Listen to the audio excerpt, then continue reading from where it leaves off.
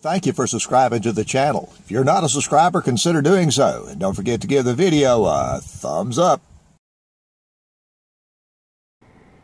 Hello everybody, it's John, W5CYF, and welcome back to my ham shack.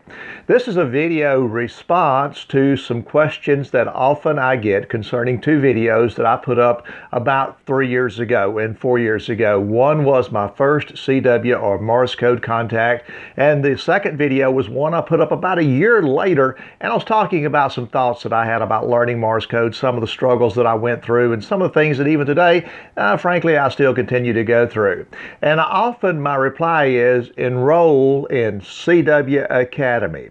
So I'm going to take a few minutes in this video and tell you my experience and why I recommend that you enroll in CW Academy if there's any stage of your progression from beginner to expert that you want to improve your CW skills.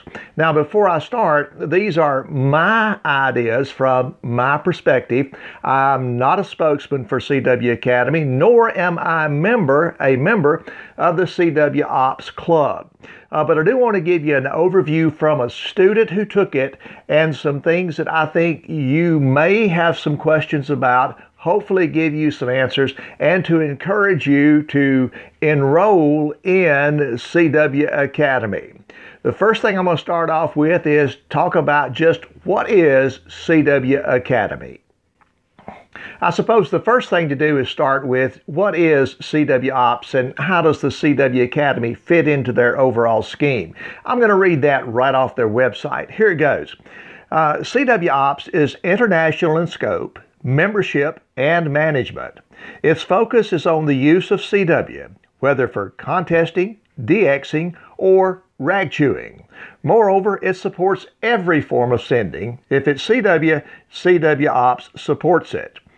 And as I said before, CW Ops is an invitation or member by invitation club. There are requirements as far as sending and receiving CW. Uh, and if you go through CW Academy, that does not mean that you are a member of CW Ops. For more information, uh, I'm going to put a link to the videos and to the CW Ops website as well as the CW Academy uh, down below in this description. It will tell you everything that you will need to know about joining CW Ops. Moving on to CW Academy, CW Academy is given in three levels level one, level two, and level three. The first is level one. Level one is focused on beginners who are sending at 10 words per minute or less, and the focus is on learning the letters of the alphabet, the numbers, the punctuation, and beginning to get your feet wet with rubber stamp QSOs and moving into conversational QSOs. It truly is for the beginner stage. Level two are for those operators that are currently sending and receiving CW somewhere in the range of between 11 to 15 words a minute. Here the focus is more on head copy, improving your copy speed, improving your sending, uh, the way you send uh, with arrows and so forth, uh, eliminating those. It's uh, focusing on an introduction to DXing, an introduction to contesting, but it's more of a how to send fluently and freely at about uh, 11 to 15 words a minute. Level 3 are focused on CW operators who are currently operating between 16 and about 20 words a minute. And here the focus is again conversational QSOs, head copy, and more of a focus on DX and contesting. So there is a spot for everyone out through there. Now I want to move over and tell you about the experience that I had when I took my class. Class schedules for CW Academy are posted online. If you go in to check, you will see that classes are filled up generally a year in advance.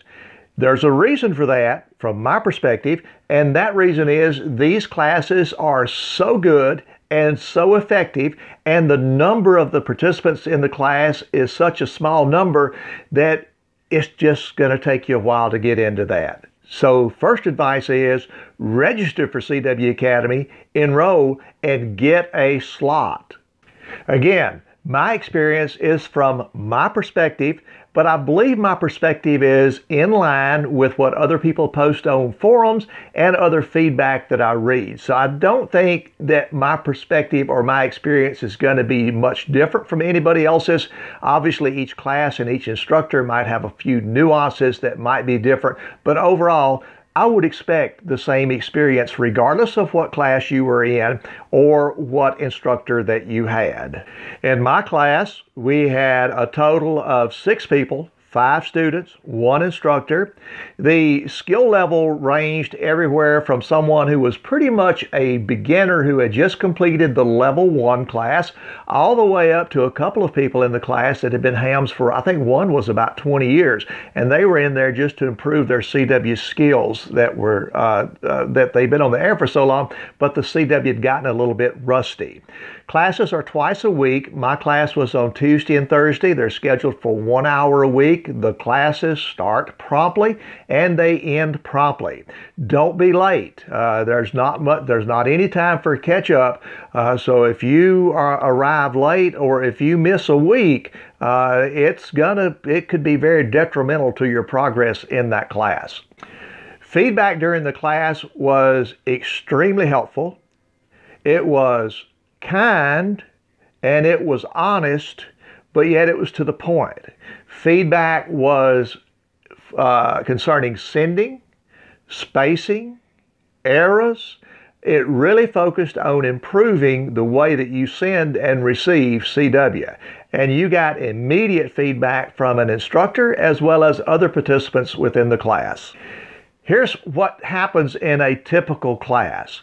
First, uh, in my instance, the instructor, and I'm not going to name the instructor because I don't want to focus on one particular instructor. I'm focusing on my experience as a participant of CW Academy.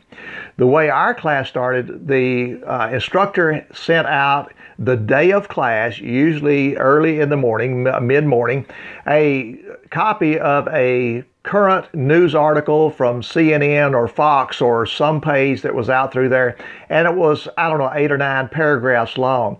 Well, you were going to be called on during class to send one of those paragraphs to the group.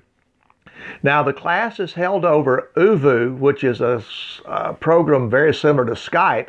In fact, there were a couple of times we had to move over to Skype. So you're really not sending over the air. You're sending via ooVoo or, in a couple of cases, Skype.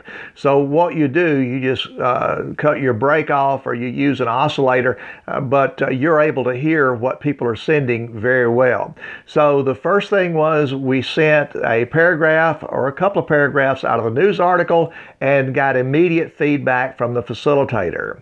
The next step that usually took place in our class was more of a, and I'll give you a couple of examples that happened.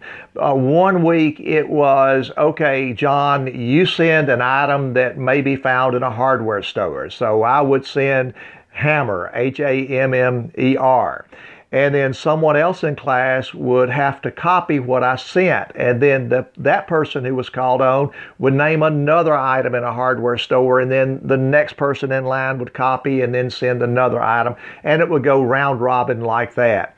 Uh, there might be a, uh, a, time where you would pick a color, and then you would send blue, B L U E, and then the other person would copy blue and then send orange, and it would go around like that. So you would get beyond the typical rubber stamp QSO, but you were actually listening.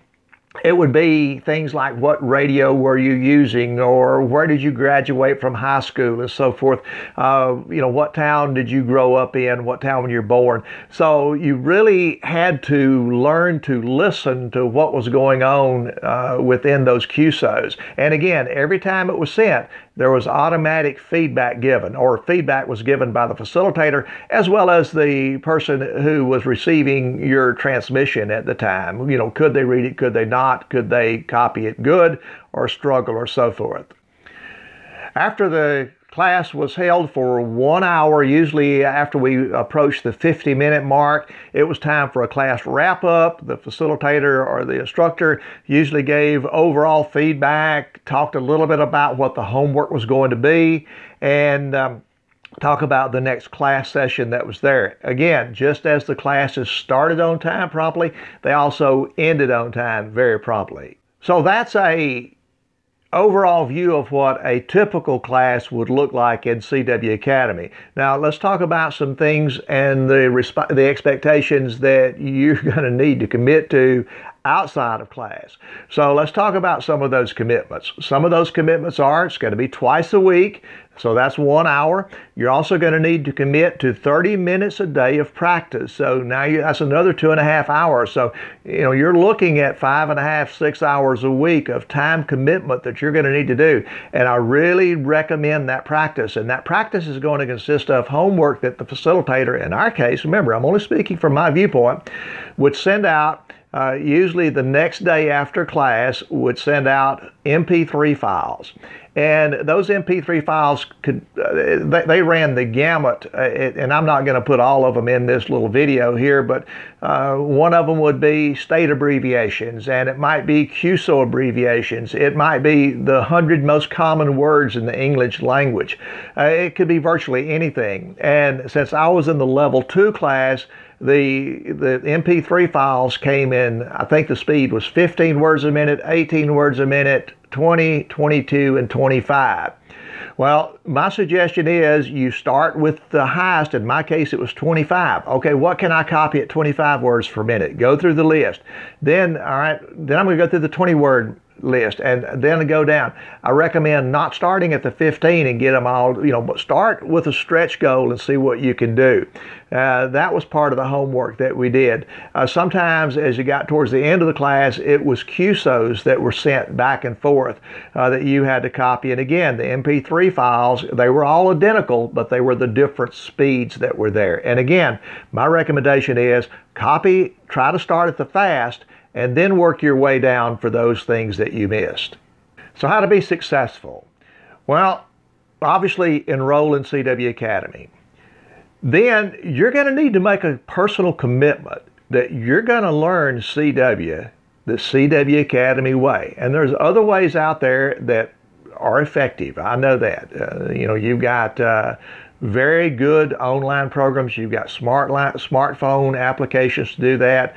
But my recommendation, if you're going to roll in CW Academy, make a commitment to do it the CW Academy way. It's a good way. It's not a foreign concept. It's just a good, proven methodology of learning CW. And at the end of eight weeks, if you put in the time and if you do your homework and if you attend class, start on time and do all those different things, I'm confident that you'd come out the other side with a much better understanding and a much higher skill level of CW. Another thing that is not said, but probably really good advice, and that is be respectful of your instructor's time. In my case, the instructor that I had was teaching two classes a week. So that was four hours a week that he was teaching class. Then that same instructor had to do the homework, he had to grade the homework, he had to give feedback back to each individual, plus work a full time. And even though they were available during the week, you know, you really, and my recommendation is interact with your other classmates. There's not that many. In my case, there were only four others. Like I said, there's a total of five plus one facilitator. Uh, and you'll get to know, um, you know, it's a virtual classroom and you'll, you'll get to know each other very well during the week. You'll be making QSOs with people. Uh, so be respectful of the facilitator's time. Speaking of time, if you're not ready to commit to this, my advice is pick a time that's more appropriate to do so.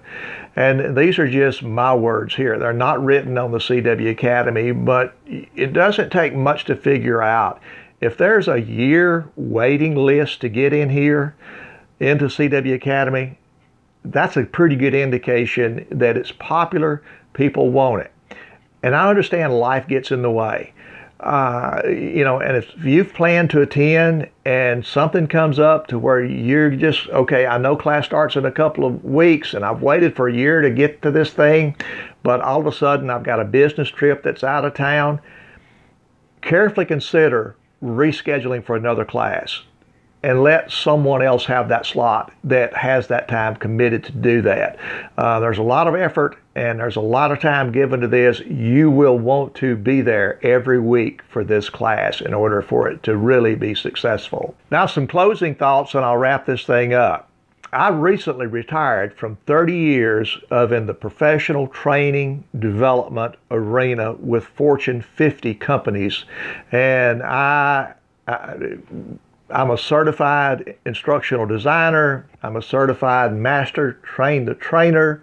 Uh, I've managed training departments. I've managed curriculum designers, so I understand the concept of training and development. That was my career. And there's a big difference between someone telling somebody how to do something or actually teaching them. There's a great book out, it's called Telling Ain't Training, and that truly is true. Just because someone can tell someone or show someone that doesn't mean that they're actually training someone. And from my viewpoint, you know, there's 21 different learning languages, there's seven different learning styles, and you have to really incorporate all of that. So where does CW Academy, which probably was not, eh, I don't know, but probably was not designed by professional curriculum developers, where would I rank it from my perspective? I would rank that as a really good, solid B plus curriculum and course design.